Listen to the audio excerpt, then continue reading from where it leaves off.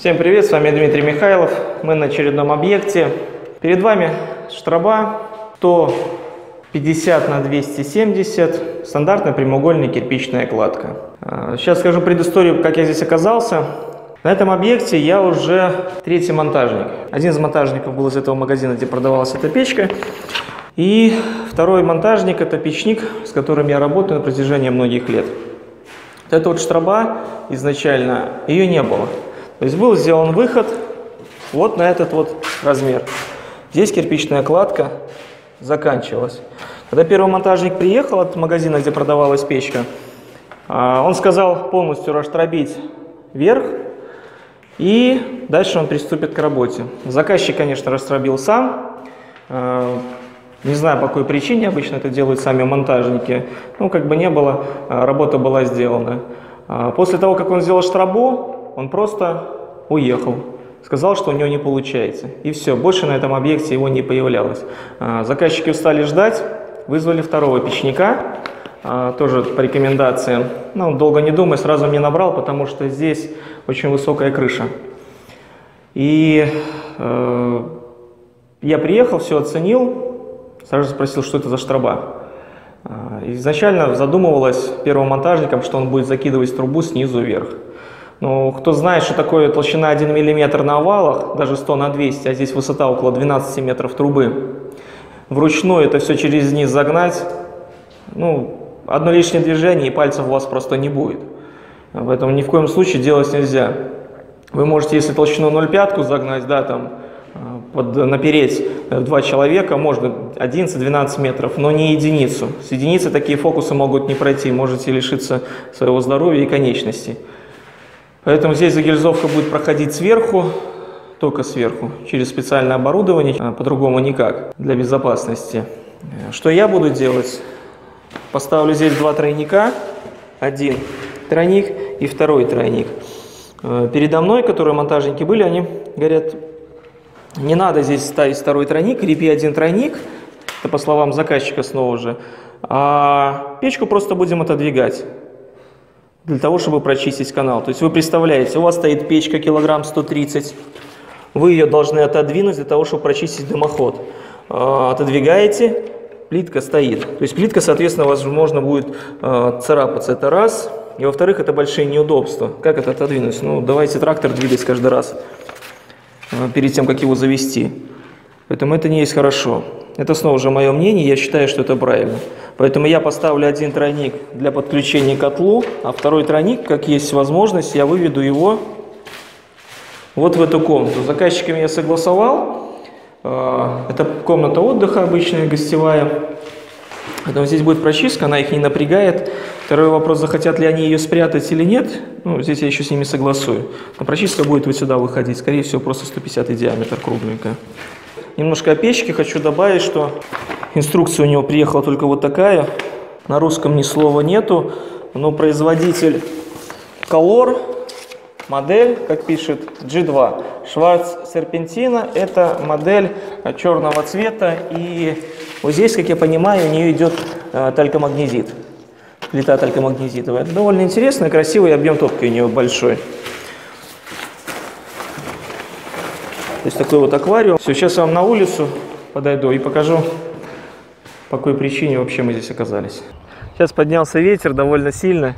Посмотрим, если поднимется больше там, 15 метров в секунду, вопрос станет о работе вообще. Но не о том. А, смотрите, вот эта вот пристройка, такой козырек сделан, навес и метраж. То есть здесь у нас получается 10 метров. Выхода на кровлю нигде нет. Это вот первая причина, когда заказчики, вернее, когда монтажники отказываются от работы. Потому что у них нету просто оборудования, они не способны сделать монтаж. Еще раз повторяю, перед тем, как кого-то нанять на работу, проверьте их работу, какие они работы делают.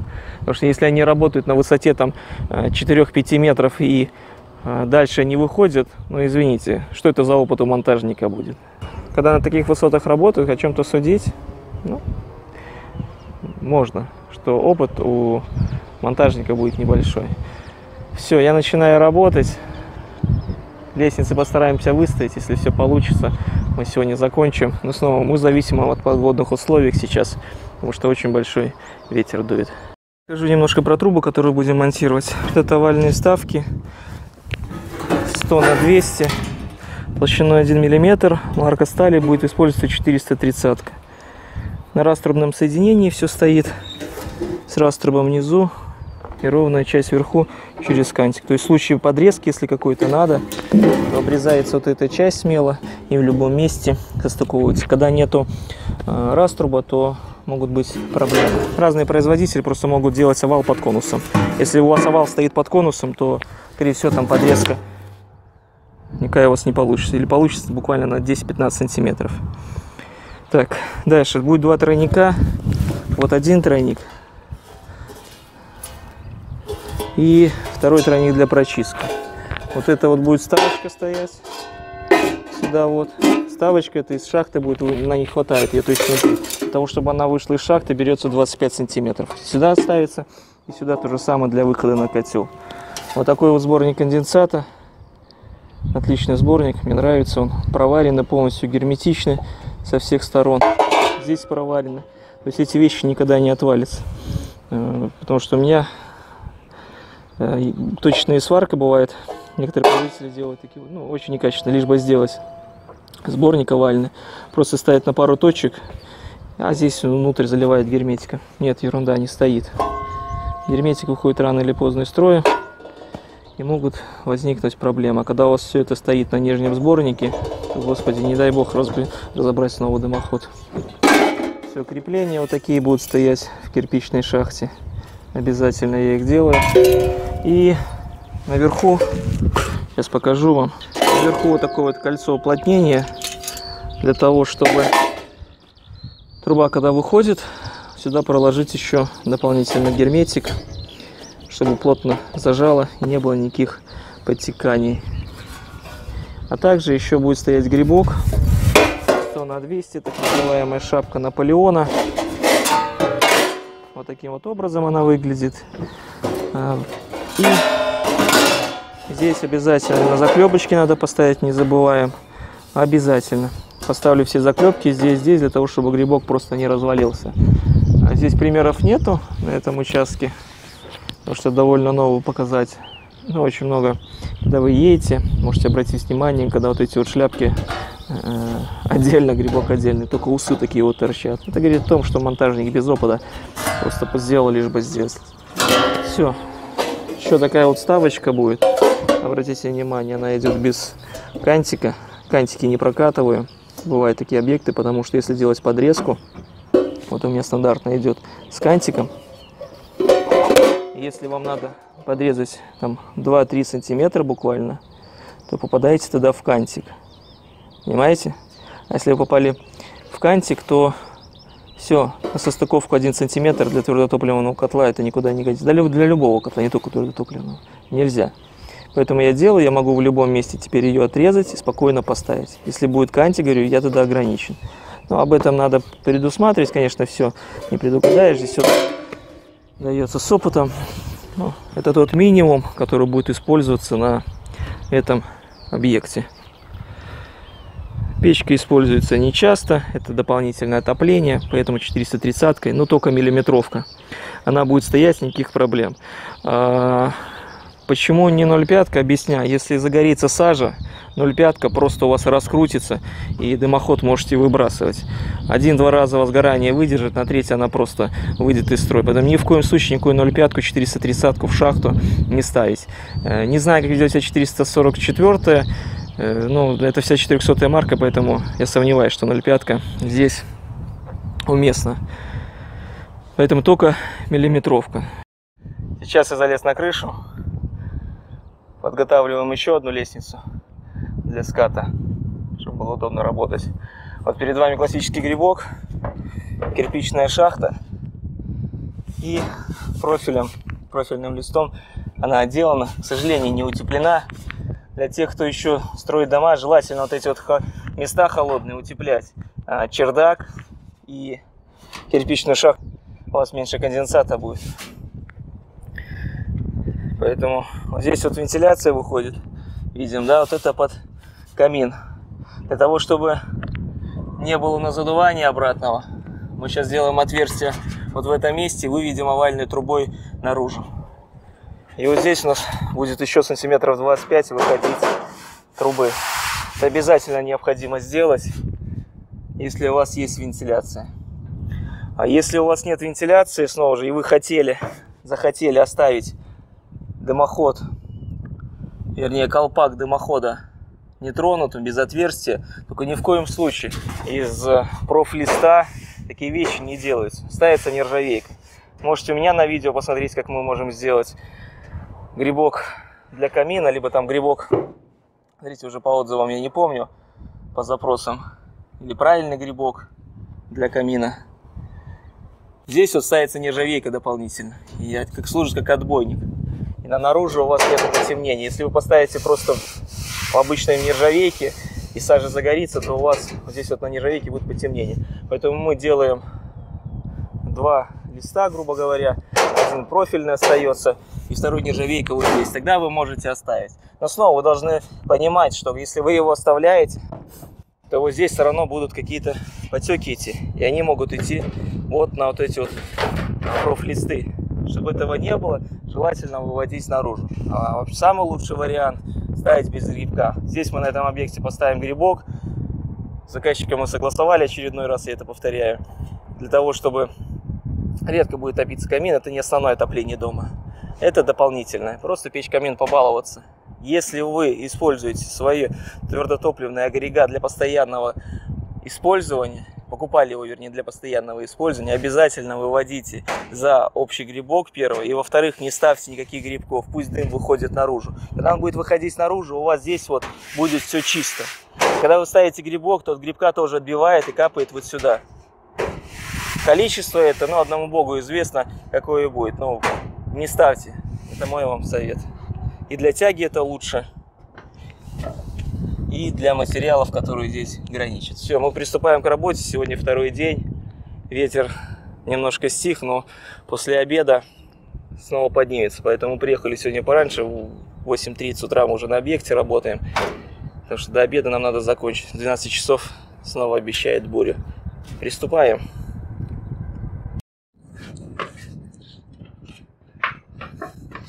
Закончили монтаж дымохода на кровле. Вот так моя конструкция выглядит.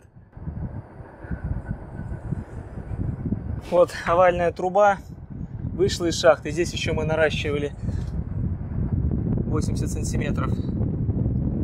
Все, теперь, когда дым будет выходить, сюда ничего попадать не будет. И не будет у вас а, никаких неприятных запахов а, вентиляции. Но обязательно выводите твердотопливный котел за общий грибок, если у вас одна шахта под два канала. Здесь обязательно мы ставим кольцо уплотнения. И под кольцом уплотнения ставим еще герметик. Здесь не видно его, но я вам здесь его покажу. Ветер поднялся, как я вам и говорил, очень сильно. Мы спускаемся, заканчиваем до обеда, немножко затянули даже. Вот герметик. С внутренней стороны он виден. Кольцо уплотнения обязательно ставьте. И грибок. Грибок заклепки. Не ленитесь, сверлите, ставьте с нержавеечки, заклепки 304, 316, что у вас есть в продаже. И все, и не будет у вас проблем. Потому что этот грибок в любой момент может сорвать при высоких ветрах. И лезть потом на крышу это неприятно, особенно если это такие вот высокие объекты. Немножечко, да, отойдем от темы, чтобы вы понимали, как работаем. Еще обратите внимание, овальные трубы. У овальных труб есть такое понятие у нас у монтажника вертолет. Что такое вертолет? Вот это вот центр, и если вы посмотрите, то видите, труба пошла по диагонали. Вот это называется вертолет. На состыковке большого метража на 5 на 6 метрах вы можете его не почувствовать. Но вот за 8 метров, когда начинается 8, 10, 15 метров, этот вертолет очень заметен, потому что на каждой трубе есть э, погрешность, и она чем выше, тем ее, чем те, тем выше, тем она больше. Поэтому, чтобы уйти от вертолета, чтобы была труба ровно, можете ставить переход с на круг. Но снова же, если вы монтажник, подписан на мой канал, обязательно вас э, прошу согласовывать эти моменты с клиентом, потому что на этом объекте я согласовал, потому что здесь будет овальная труба без перехода на круг. Но когда здесь шахта еще, а у нее, если вы обратите внимание, есть зазоры слева и справа. Но если это идет я немножко еще развернул эту трубу, но если у вас будет труба притык-притык в шахту идти, то вы с вертолетом с этим ничего не сделаете. И выскочит эта труба может не вот так, как сейчас, да, а вообще ее может развернуть вот таким вот образом. Поэтому на больших диаметрах овальной трубы лучше делать переход перед э, грибком внизу с овала на круг. И тогда вы аккуратненько кругом выходите, и у вас все четко по уровню будет стоять. Такие моменты при монтаже надо учитывать. Все, сейчас мы спустимся вниз и покажу, как мы сделали внизу подключение к самому дымоходу. Кончили мы монтаж дымохода. Так это выглядит вся конструкция, если я отойду в сторону. Внизу стоит прочесной карман. Выход идет э, патрубок 150 диаметра для печи камина. Подключение. Сразу разметочку сделал, 99 сантиметров. И печь центр 99 сантиметров. Печь колор, напоминаю еще раз. И у нее патрубок, центр осевой вот выхода, заднего подключения будет. У нее есть верхнее подключение и есть заднее. Довольно интересная печь. Здесь на подачу воздуха даже есть клапан. Поставили сборник конденсата внизу. Сюда заглушка затянется. Этот элемент криво висит, но не обессудьте, как бы я за уровнем не следил, иногда невозможно поставить крепление ровно. Это в шахте. Почему невозможно? Потому что мы тройник один развернули в другую сторону. И здесь отверстие, расстояние очень ограничено. А, напоминаю, миллиметровка здесь, вот этот тройник 304, 1 миллиметр толщиной. Проварены, то есть вы эту систему грубо храните. Поэтому, э, чтобы не возникало каких-то вопросов, я хочу тоже спать спокойно, поэтому монтирую только такие вот сборники. Бывает еще другого варианта сборника, но о них я позже расскажу, либо уже рассказывал. Здесь именно будет так. Патрубок пошел для подключения к котлу, это 50 -ка. Здесь еще одно крепление стоит. Это крепление, объясняю, она не разгрузочная, потому что у вас стояк без дымохода давит сверху вниз. Разгрузка служит вот этот нижний сегмент. Эти крепления для того, чтобы оцентровать трубу и влево-вправо при движении, когда вы будете открывать прочистку, которую мы сейчас вернемся, для того, чтобы тройник не выдвигало. Все, и метраж пошел вверх. Обязательно я здесь герметик ставлю, и система собирается по конденсату. Если соберете систему не по конденсату, у вас будет большая-большая беда. Потому что а, конденсат потечет весь вот по наружке, здесь потечет. И как вы будете эту проблему потом решать, скорее всего, просто печкой не будете пользоваться. Поэтому собирайте по конденсату и спите спокойно. И вот так выглядит с другой стороны заглушечка. Она достается спокойно. Прочистили канал, закрыли. Мне очень интересно, потому что перед этим монтажники, которые были, они предлагали просто отодвигать печку. А, если не жалко, напишите комментарий, если есть желание, как лучше сделать, по вашему мнению. Вот таким вот образом, когда печка будет стоять на месте, никто ее не будет выдергивать. Либо поставить просто, подвесить один тройник здесь, и печку каждый раз а, выдвигать для того, чтобы добраться туда и почистить. Либо если птица упала, тоже надо отодвигать печку и почистить. Печка, по-моему, в районе, ну, за 100 килограмм она точно весит. Я думаю, килограмм 150. То есть вес довольно большой. Мне очень интересно, напишите мне в комментариях, как вы за сборку. За эту через два тройника классическую, либо через один тройник. А, еще почему один тройник могли предлагать, объясняю. Дополнительно этот тройник стоит еще денег, плюс заглушка стоит денег. Поэтому и чтобы заказчиков не пугать, люди бывает не считают. Еще э, по дымоходам часто меня спрашивают, какую нержавейку поставить. Если это печь-камин, либо камин, который используется как дополнительное отопление для теплового агрегата, ставьте 430 1 мм от начала и до конца. Не 0,5, а именно 400 марки, но снова же, а, я использую 430 -ю. За все марки не буду стали говорить. И ни в коем случае, а, как я имел опыт работы на рынке довольно долгий, как продают на рынке, как продают объявления, выставляют миллиметровку 2 метра, остальное выгоняет 0,5. Так делать ни в коем, в коем случае нельзя. Объясняю.